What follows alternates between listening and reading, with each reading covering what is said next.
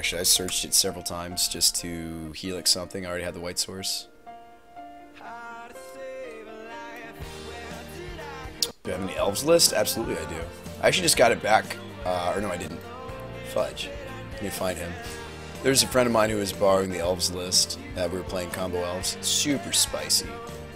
Turn three at the earliest. Elves. It's really cool.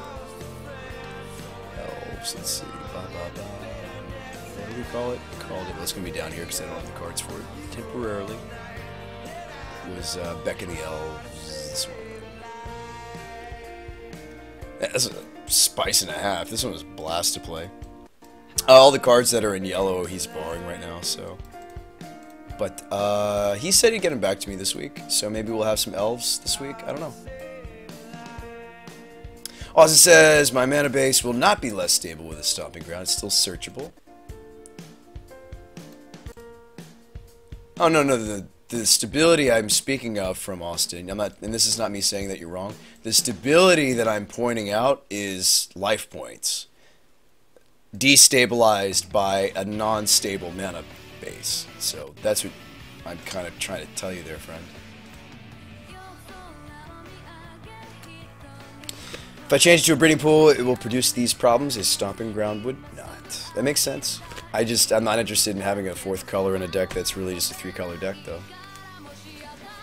Jersey says, I play elves. Yeah, this is sweet. This, this elves is really sweet. That's not me saying you're wrong, it's me saying I, I was very pleased with the mana base. Just run catch release. Problem with catch release is it blows up the brain, but it is strong. Joe says that. Oh no, the leaf caller I wouldn't play in magic in paper. Uh, in paper you can run Manamorphose. The reason we had to try the leaf caller on Magic Online is because we were timing out. Because you had to find the one of Manamorphose to be able to catch the shaman multiple times or just once. Um, this was let, letting us filter all the green mana that we're producing as we combo off into black. Um, otherwise, no, if you're playing this in paper, cut the leaf caller, run 1 to 2 Manamorphose. Um, if you're playing this on Magic Online, I, I, recommend running a leaf caller or at least a split of Manamorphose to leaf caller. Uh, that was something we realized quickly early on in the deck, um, is that we were timing out because we combo, we draw like a big chunk of the deck, maybe about half or more, and keep going and we were having trouble uh, actually casting the Shaman of the pack, so that's why you need to be able to cheat yourself into black. But uh, look kind of like this. Yeah, curves kind of like that.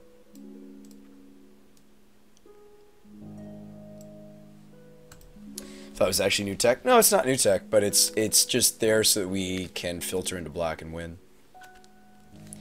Uh, yeah, you could run the, yeah, this one, Essence Warden. Yep, we were running a copy. This also lets you gain infinite life as you go through the combo, uh, James. Mm -hmm. You can run like one to two of this. I was only running one at the end because it felt win more, like just like, just killing them seemed better, but. Well, Wisher. Have I looked at to Emrakul at that? You actually don't make that much mana, uh, Chase. That's a great question. So it actually doesn't make a lot of mana. What it does do is it makes, it cycles through itself. Let me explain. I'd love to show you this this deck, though I can't. Everybody bug, uh, I'll have to tell you his name, bug the person who's borrowing the deck from me, um, so we can play it some on the stream. But, uh, no, I can't play it until I get this cards back from him. But, uh, you actually don't make a lot of mana, you just cycle through the deck. In other words, you make enough green so you can cast the next elf, and then that elf helps you get to enough green to cast the next elf, and so forth. You don't, you don't make 15 mana in this deck, it actually just cycles through itself, kind of like a storm deck, and then you kill them. I do remember you, Terror. What's up, friend? I'm glad you came up to say hi. How's it going, Terror? Hello. I do remember you. Hello. Hello out there. Yeah, it was really cool to meet some of you guys in person, flesh and blood. It was cool. It was cool. You guys are like normal people. All of you. Just, I mean, a little nerdy, obviously, because, I mean, we're all nerds. Because we all love magic, but... Yeah. I was happy to meet you guys. It's great. Thank you for garbage truck. Oh no. How much you need to combo off? Now that is? Uh, like three. Orchards are busted with Beck. That's why Omni. Orchards let you draw cards off the Beck.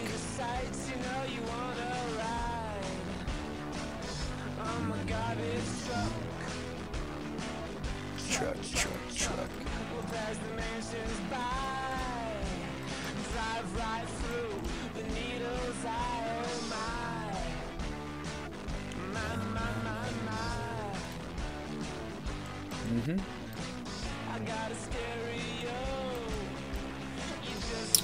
Um, I'll let you know if I try to, Dan. I mean, the money's just not there. Uh, and actually, like, a lot of the reason I was able to actually go to the GP, to be quite honest with you guys, had, a lot of it had to do with the fact that uh, I had some very generous people that got me there and back. So, there were a lot of little things behind the scenes. Uh, you guys know who you are. Jeff and Mike and everybody else, Brian. Um, you guys know who you are, and but I don't mind name dropping you. Like without you guys, I would have made it back there or back to the GP. But um, yeah, I mean, like there are a lot of little things behind the scenes, and like the cheap, the, the fact that they, you know, it was a cheap hotel stay, uh, and that you know food was cheap. Somebody bought me a pizza. Uh, one of the guys at Trey Van Cleve, if you guys know him, he streams Magic.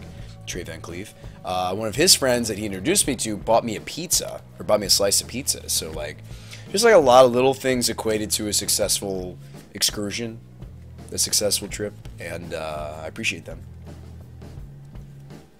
Nice, Terror. Uh, Overmaster, I would say it's more of a turn three, to be honest. I mean, in, in theory, I think you could turn two, but it'd be like the perfect hand. Like perfect. Perfection. boom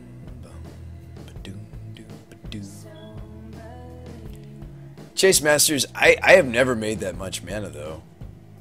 But I don't remember ever making that much. Skyworthy, this is the deck I took to day two of the GP.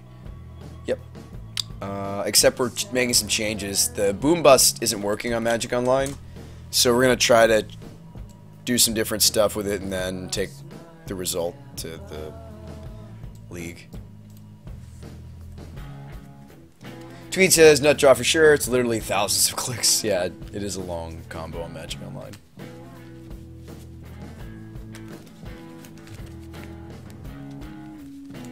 Made today, made it day as Tron.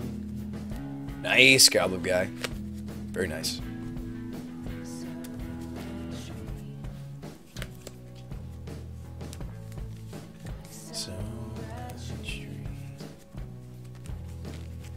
Trying to figure out the last card I want to test. What was that other card we were talking about testing? Not a second Logic Knot, no. No. Maybe like uh, the third Spell Snare or the fourth Path. Spell Snare was great at the tournament.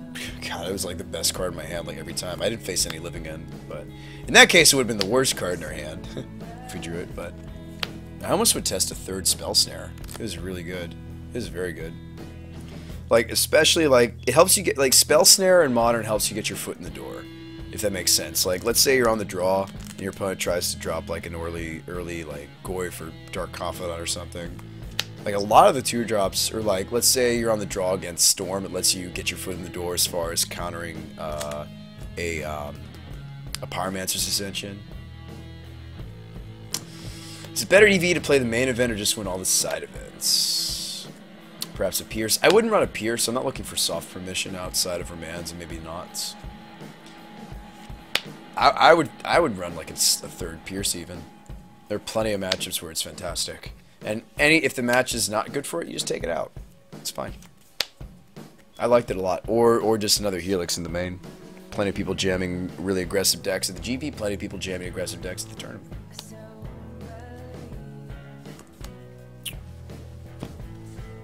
Hey, give me. Do I have another spell snare? I think I. I think I do have a third one. I would almost jam one more of this. No, I don't. No. I thought I did. Wait. Wait. Yes, I do.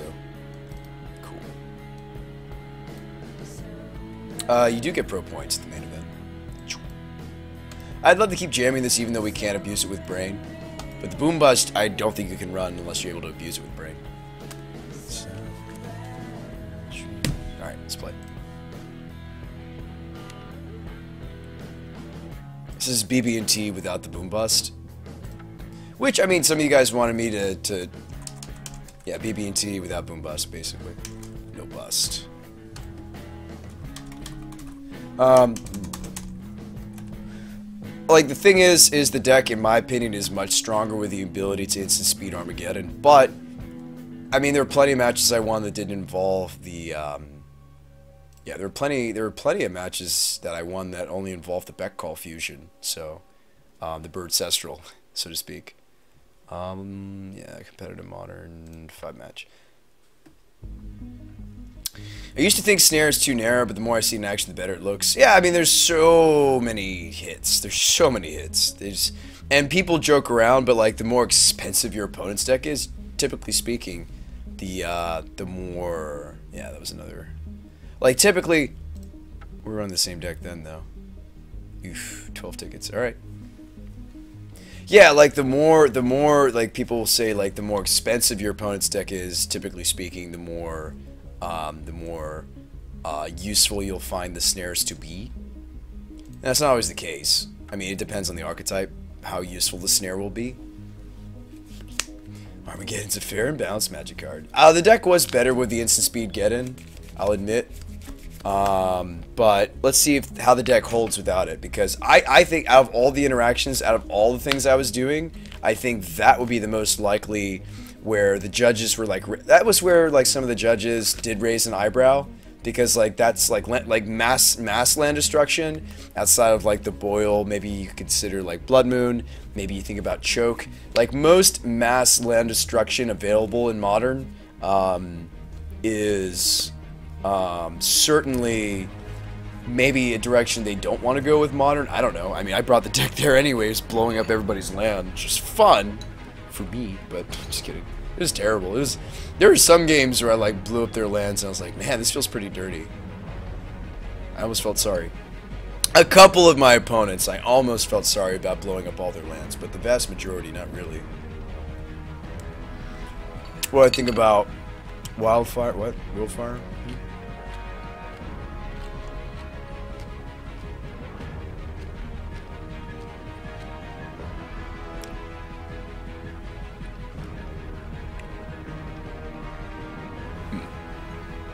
Oh, thanks, Color Red. You feeling better, friend? Yes, you can. Yes, you can, the boring. Yes, you can. I did it at the GP. With judges and without judges. Yes, you can. Mm-hmm. Yes, you can. It felt great. Mm-hmm.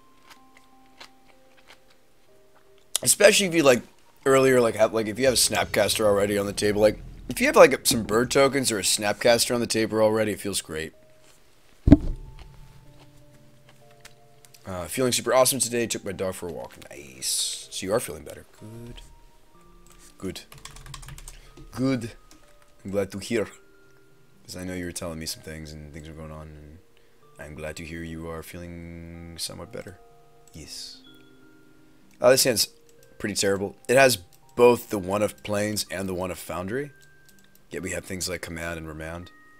I mean, you technically could keep it. It you're hoping that the opponent is relatively Daily Llama. What does this guy play? I think I played against him before.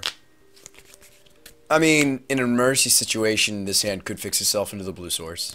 Um, you'd have to like quarter the plains. Good lord, that's not where you want to be. Um, it plays a good early game though. Like I mean, it plays a decent early game. Like if he's aggressive, like Bolt and a Path is fine. You draw the blue source in three or four turns, you're fine. Um, the command is a pipe dream though for a hand opening hand like this. When you have the one of Foundry, the one of plains, uh, one of two Ghost Quarters, you're not going to get to the command. Uh, every match basically, Austin. All right, Charlie says, glad to hear the deck treated you well. How many boom busts did I run? Uh, just two. Just two boom bust. Yeah, it, uh, essentially every match I would get a judge call. It was awesome though. It was fine. The judges are really nice. There was only I actually only had one. There was only I told everybody about it earlier. If you missed that, there is a deck re, there is a recap. You guys can go back and watch it. But uh, basically, uh, only one of the matches, one of my matches against Tron, where I get in, did I get a judge call where the judges like weren't sure, and one of my buddies must have saved my butt. One of the people that watches or